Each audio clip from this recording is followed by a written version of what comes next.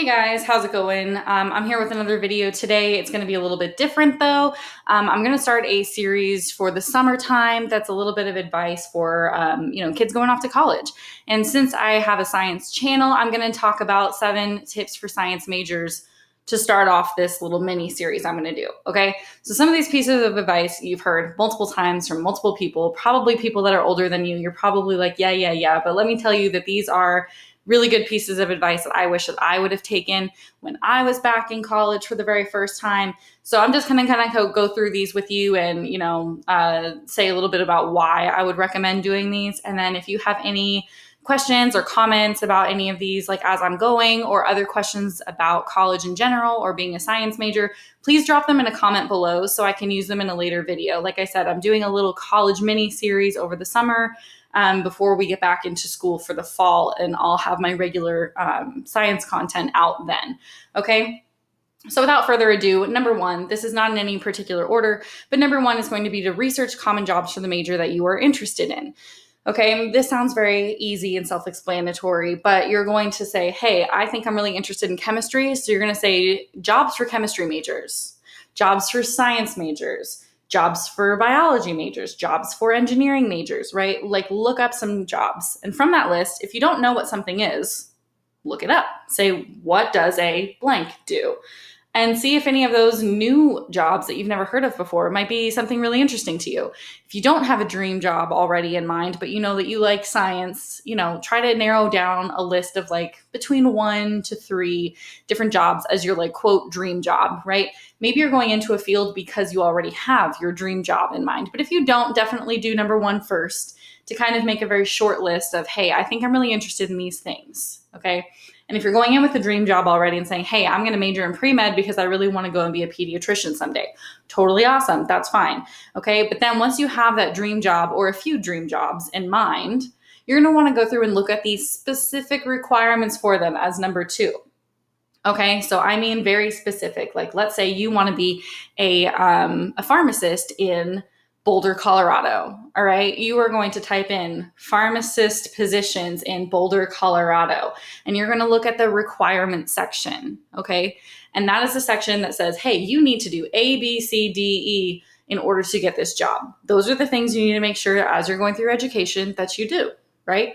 If for any kind of job, whether you want to be you know, a lifetime cashier, nothing wrong with that. If that's your prerogative, that's your prerogative. You can choose to be whatever you would like to be then that's what you need to go and research. You know, what do I need to do to do this job, right? If you want to own a Chick fil A, hey, hit me up with a discount if you've got one. Look up how to do it, okay? But if you're gonna go to college, make sure that whatever you're studying is gonna help you get the job you want. This is something that I thought I want to be a microbiologist. I'm going to get a microbiology degree. Easy. Except for by the time that I graduated, you needed to do a lot more than just have a degree in microbiology. So when I graduated, I was like, ah ha ha, I have a $100,000 sheet of paper that says I can be a microbiologist, but all the jobs say, haha, no, you can't.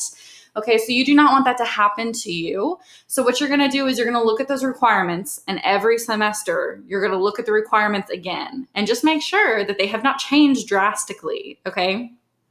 Sometimes they change things to where you now need certifications as well as a degree. Okay. And you're like, well, wait a minute, I have a degree. Correct. But you might need certifications, or having certifications might help you get a leg up in that field. Okay.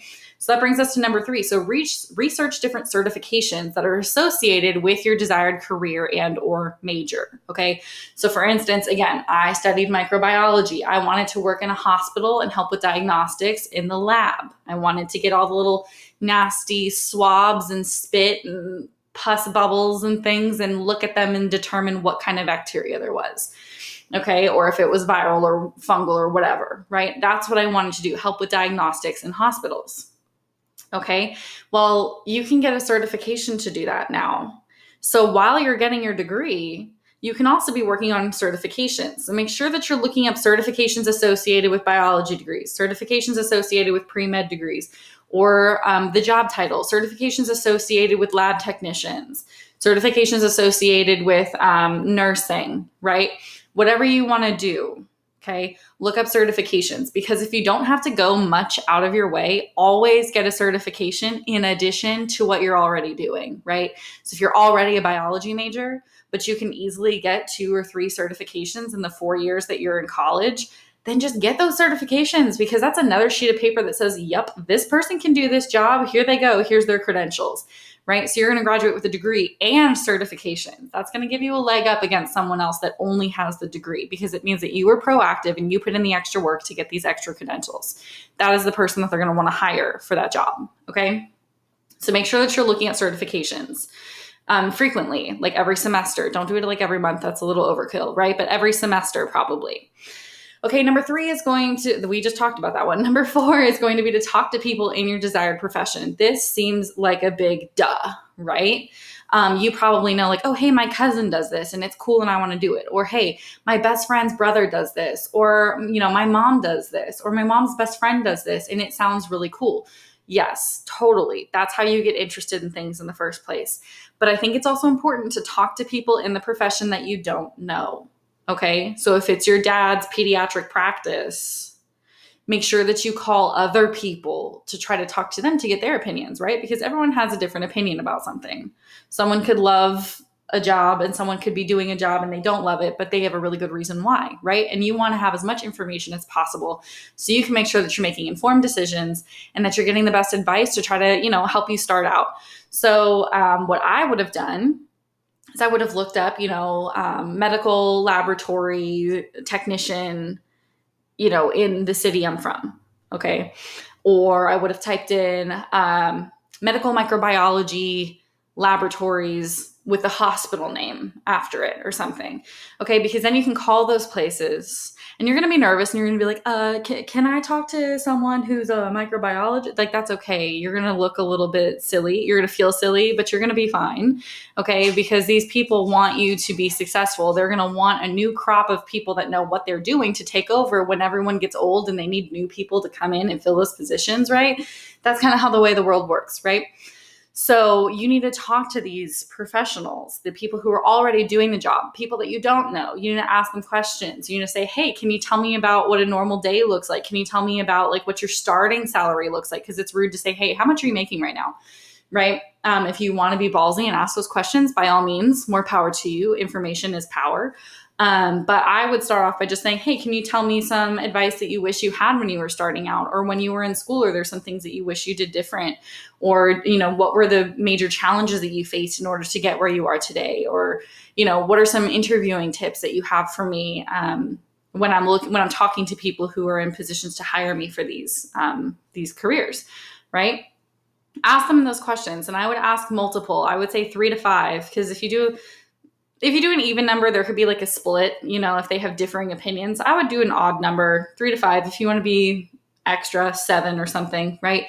But get as much information and advice from these people that are literally doing the job you want to do, okay? Because they're the ones that know how to do it, they're the ones that know the connections that you need to make, okay? And then number five is going to be to participate in research with a professor at your school. Now, I waited until my senior year to do this, and I highly don't recommend doing that. I would recommend starting off as soon as possible. Um, and even if you can't be on their research team because they don't have room or they don't want a freshman on their team because you don't know what you're doing, like whatever, totally valid reasons, ask them then if you can go into their um, like weekly meetings where they talk about the different experiments that they've been doing. They're talking about next steps. They're talking about research in the field that's completely applicable right now, today, to what they're studying. Okay. Um, go to a couple different professors and just ask them. And yes, you're going to be nervous to do this. You can always send an email. Hey, I'm really interested in getting into this field. I'd love to come and see some of your research. If you would, you know, let me come and shadow, or if you have room on your research team next year, I'd love to be considered for that. You know, reach out to them. The worst thing that they're going to say is no or not reply to you. But at least it's an email and it's not like to your face. So if you need to like take a minute to gather yourself, it's okay. Right. Um, but they are there at the end of the day because they want to help you, right? They're educators. They're there because they want people to know what they know. They're trying to share their knowledge. So I'm not going to get upset with you for asking. So make sure that you try to reach out to your professors, even ones that you're not sitting in their class, right? If you're a freshman, you're not taking microbiology, you're not taking advanced biology, you're not taking organic chemistry, right?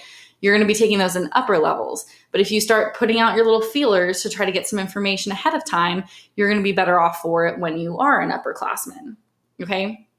So make sure that you talk about research with your professors. If you don't actually want to do the research, totally okay. Ask if you can go in and sit in um, on their meetings and things like that, or if you can help out in other ways, right? That way you get some extra skills that you're building because you're helping in a lab, which are skills that you're going to need for science majors for the most part.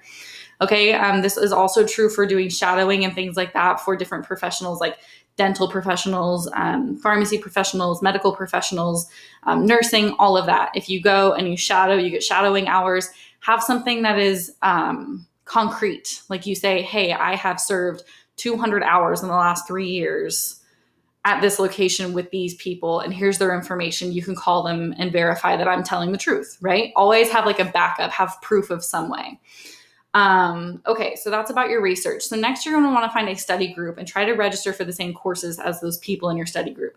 Now this again seems very self-explanatory. When you're starting off, you're going to start to meet people and identify yourselves as your majors. And you're say, hey, I'm a bio major. Hey, I'm a micro major. Hey, I'm a physics major. Hey, I'm electrical engineering. Great. So you want to start getting some of these groups of friends going. You don't have to be best friends with them. You don't want to have to braid their hair or live with them. You just need people that you can rely on that are there for serious studying purposes, right? Because sometimes you're going to wake up and you might not feel very well and you might not be able to make it to your lecture. You should always make it to classes when you can, but things come up, right? Um, so you want to make sure that you have some people that you can rely on that you know are not going to be sitting there texting their friend the whole time. They're going to be taking good notes. They're going to be listening when people ask questions and writing them down and be like, hey, some kid asked this. This is what she said. I think it's going to be on the test, right? You need to get as much information as you can when you're not going to be there, which should be rare instances, but everyone has their something, right? You just need a support group. And then when you're trying to study, if you have more than two or three people that you're trying to study with, if other people are studying for different exams and you're suddenly high and dry by yourself, it's always nice to have extra people that you can rely on, right? And then you can also share experiences or, hey, someone took this professor. Um, I wouldn't recommend them, right? You can share knowledge, and you should all be doing these researching jobs and certifications and research with the professors at your school, right? And then if you have a good community of people that you're constantly um, interacting with, yes, someday you're going to be competing with them. But having these ties and helping each other out when they get a position, they could be like, hey, my friend's applying for this. They're really good. Boom, you have a job. Same thing for you. If you have a position somewhere and you're like, hey, this was my friend. They were part of my study group. They were really awesome, helped me out with X, Y, and Z. Totally awesome. You should hire them. Boom, they have a job. Okay. This is how the world works. It is what you know, but very much also who you know. So you need to be networking early. Okay. Try to register for the same classes when you can, even if it's not the same time, but it's the same professor. They're going to be covering the same information, and your exams will be on similar days. So make sure that you're trying to get um, you know, a similar schedule with those people. So you guys have a great support system throughout the courses that you can take together. Obviously, they will diverge later, but while you can, make sure that you have a strong support system. And then lastly, I'm going to say don't always go with the easiest professor. Okay. Now, yes, I'm a professor, I'm a teacher, I'm an educator. Of course, I would tell you don't go with the easiest option, but here's what I mean. Okay. I was a microbiology major. Do I care about physics? Absolutely not. Right. I do not care about physics. I care about cellular biology, I care about chemistry. Okay, but did I care about physics or you know, speech or debate or PE? No, I didn't really care about them. So for the classes that I'm not going to need to know how to do yoga for the rest of for the rest of my life, I want to go ahead and take the easiest professor I can for that one. For physics, I still don't know physics, and that's okay, right? I've become a master at other things. So I didn't take the hardest professor, I took the easiest professor. However, when it came down to microbiology, biology, and chemistry courses, I went on all of the professor rating, what pick a prof, ratemyprofessor.com. There's other ones now that are cooler because y'all are younger and come up with new databases that are better. Great. Go to those type in your university, your community college, wherever you're going, type in the professor's name, and then go look at the ratings. It's like five out of five, easy. Yes, I'm signing up for them. Mm, hold on. Okay, if it's going to be a class that you're going to be taking again and again and again biology 1 biology 2 biology 3 whatever you're doing right whatever your major courses are you need to make sure that you're looking for the professors that their ratings say something like might be difficult but you will really learn um, really cares that you understand the information um, gives amazing reviews right these are things that you want to see in the reviews not really easy a right you don't want to see that not in these classes. In every other class, yes, absolutely. Pad that GPA. Okay. But in the classes that you're going to continuously take forever, okay, you want to take the professor that you're going to learn the most from. And that doesn't always mean it's the easiest professor. Sometimes it does, but a lot of times it doesn't, right? And that's okay because you know that you're taking some of the easier professors, but then the classes that you truly care about that are going to impact the rest of your life, literally, you want to make sure that you have a good foundation you want to make sure that someone is there to explain things to you and they're not just there to do their research, right? It's fun when you have a professor that says, Hey, I'm going to make a paper airplane. If it hits the back wall, everyone's dismissed. You got 100 for today. That is fun. Yes, it is. Absolutely. But if it's something that you really needed to know later in life for your career or for your next biology course, or your next physics class, your next electrical design, whatever you're doing, right? If it's something that a little tiny piece of like a brick and mortar that you needed to build that next layer, well, now you have a weakened layer, right? So you want to make sure that you have the professors that people say you're going to learn a lot. They're very helpful. Goes out of their way to explain things to you, right? Don't just look for easy, not for those courses, okay? All your other courses, yes, totally. All right. But those are just some of the pieces of advice I have for pretty much anyone, but specifically I'm talking to science majors because again, I have a science channel. Okay. So if you have other questions or questions related to the, the tips that I have here for you, please let me know. Um, like I said, I'm doing a little college mini se- uh, segments over the summer um, for my kiddos that are going off to college for the first time, for my kiddos that are transferring majors. Um, you know, people that are transferring colleges. There's a lot of change that happens between when the spring semester ends and the fall semester begins. So I'm just trying to give some advice for those people. Okay. So if you have any other questions, like I said, or comments or anything about what I've talked about today, please drop them below so I can address them in my later videos. Um, the next few videos I want to do are going to be like what to keep in your backpack as a science major right? Because you might not think about some of these things. You don't want to be trying to purchase the pants off of a person before a lab. I have done that. Okay, you don't want to do that. So I have some advice for that. Um, also, some advice before your very first day of classes. Like, what are a few things that you can do to make your life way easier once you start class? Okay. Um, so those are the next few ideas that I have. And again, any of your comments I'm going to also use to fuel some new videos for the summer. And in the fall, we'll get back to our regular science content. Um, but thanks so much for listening. Thanks for helping me out with this new, you know, format that I'm doing for college this summer. I hope you guys have an awesome day and I'll see you in the next one.